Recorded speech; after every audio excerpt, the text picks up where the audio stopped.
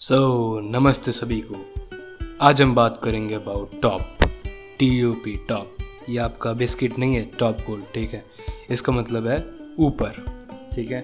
देखो ऊपर मतलब टॉप टॉप मतलब ऊपर। इन सिंपल वर्ड्स आप टॉप को ऊपर कह सकते हो ओके एंड जहाँ जहाँ पे ऊपर का उपयोग किया जा रहा है वहाँ वहाँ आप टॉप का भी उपयोग कर सकते हो इंग्लिश में ओके एक उदाहरण देख लेते हैं।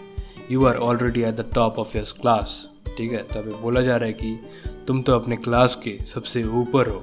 Means in rankings first second third fourth something like that okay अगर वीडियो से कुछ हेल्प मिला तो सब्सक्राइब कर लो, नहीं तो बाद में कर लेना, कोई इशू नहीं है।